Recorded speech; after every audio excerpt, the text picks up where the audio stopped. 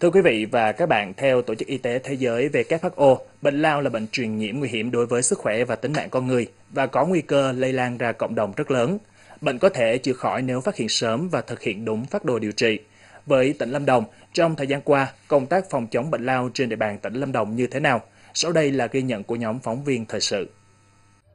Theo đánh giá của các chuyên gia y tế,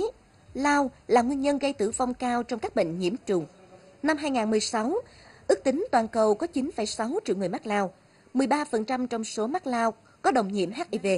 khoảng gần 2 triệu người tử vong mỗi năm do lao. Riêng ở Việt Nam, mỗi năm có khoảng 130.000 bệnh nhân mắc lao mới, trong đó có 7.000 người mắc lao đồng nhiễm HIV, hơn 500 bệnh nhân lao đa kháng thuốc, 6% lao siêu kháng thuốc.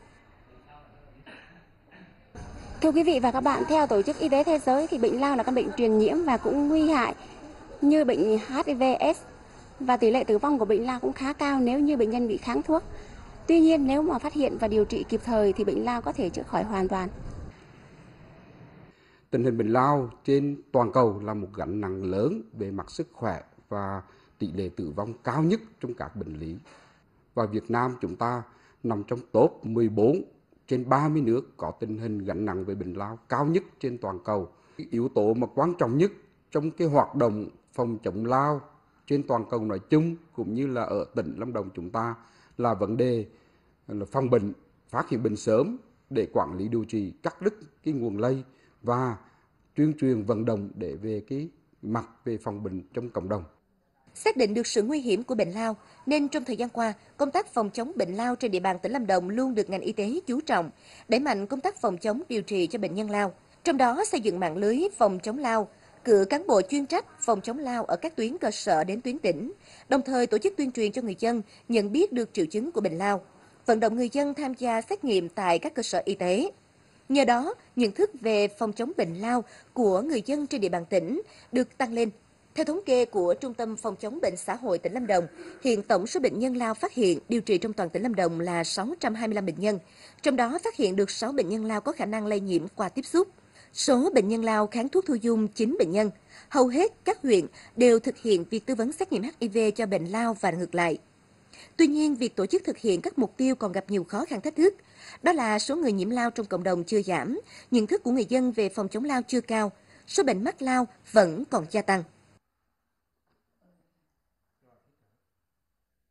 Bệnh nhân chủ yếu phát hiện và điều trị quản lý ở cộng đồng được cấp phát thuốc theo hệ thống mạng lưới lao của y tế cơ sở. Một số trường hợp bệnh nhân lao nặng cấp cứu, lao ờ, điều trị tấn công trong giai đoạn kháng thuốc thì phải điều trị tại ở các khoa lây, khoa lao của bệnh viện đa khoa hoặc là bệnh viện của các trung tâm y tế huyện. Cái khó khăn là về lực lượng cán bộ y tế, đặc biệt là bác sĩ chuyên sâu của ngành lao chưa được nhiều, chưa được thu hút để đảm trách cái trách nhiệm cũng như là năng lực quản lý bệnh nhân. Theo bác sĩ Trần Văn Phương, trưởng khoa lao và bệnh phổi bệnh viện đa khoa tỉnh Lâm Đồng, nguyên nhân bệnh lao là do vi khuẩn gọi là Mycobacterium gây ra. Người khỏe mạnh bị truyền vi khuẩn lao qua đường hô hấp trong môi trường không khí từ ho hoặc hắt hơi từ phía người nhiễm bệnh. Trung bình mỗi năm, khoa lao và bệnh phổi bệnh viện đa khoa tỉnh Lâm Đồng tiếp nhận gần 100 bệnh nhân mắc lao, trong đó có nhiều bệnh nhân mắc lao ở giai đoạn lây nhiễm cao, khiến cho công tác điều trị cho bệnh nhân gặp nhiều khó khăn. À, Việt Nam mình đang triển khai theo cái chương trình phòng chống lao của Trung ương, tức là chỉ uống thuốc thôi, à, uống thuốc buổi sáng lúc bụng đói, uống đều đều, một cái phát đồ đều một cái liệu trình điều trị như vậy là 6 tháng.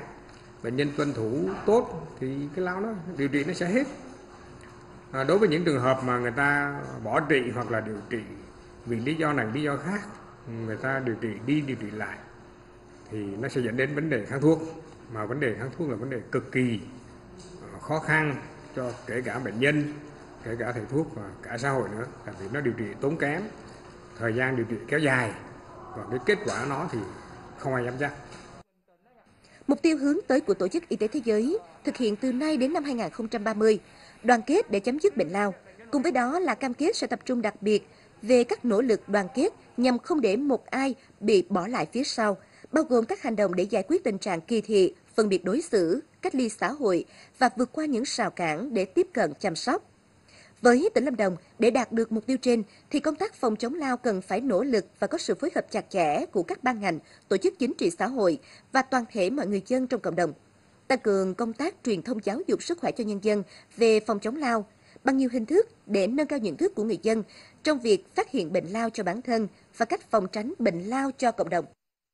Lâm Đồng có diện tích rau hoa lớn nhất nước và trình độ sản xuất cũng được nông dân và các doanh nghiệp liên tục nâng cao, đáp ứng nhu cầu ngày càng cao về năng suất và chất lượng của các sản phẩm rau hoa.